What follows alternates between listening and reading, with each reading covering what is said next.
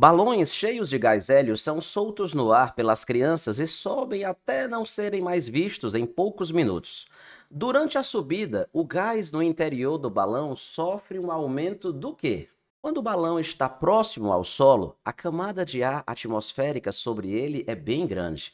E nessa situação, a pressão atmosférica esmagando o balão é enorme. Imagina um balão que tu tá fazendo uma pressão grande nele. É intuitivo que ele deve ficar com um volume bem pequenininho, né? Agora, o que, que acontece quando esse balão vai subindo? À medida que ele vai subindo, a coluna de ar que está acima dele vai ficando cada vez menor. Portanto, a pressão que vai esmagando esse balão ela está diminuindo. Se a pressão que esmaga o balão está diminuindo, o balão então vai aumentando de volume. É intuitivo, não é verdade? E quanto mais o balão vai subindo, o volume dele vai ficando cada vez maior. Esse é exatamente o mesmo fenômeno que acontece quando você tem um copo com bebida gaseificada. Pode ser um guaraná, uma cerveja, uma champanhe.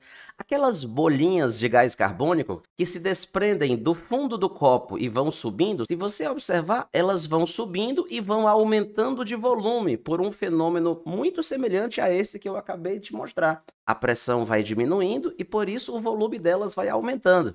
Claro que no caso da bebida, durante a subida, mais gás carbônico também vai se agregando àquela bolha e também colabora para o aumento do volume da bolha de gás carbônico durante a subida.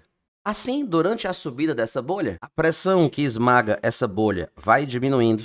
A densidade é a massa sobre o volume. Se o volume está aumentando, a densidade está diminuindo também. A massa molar é constante. A temperatura dessa massa gasosa vai ser praticamente constante durante a subida, até porque qualquer mudança de temperatura dessa massa gasosa iria demorar muito tempo para ocorrer.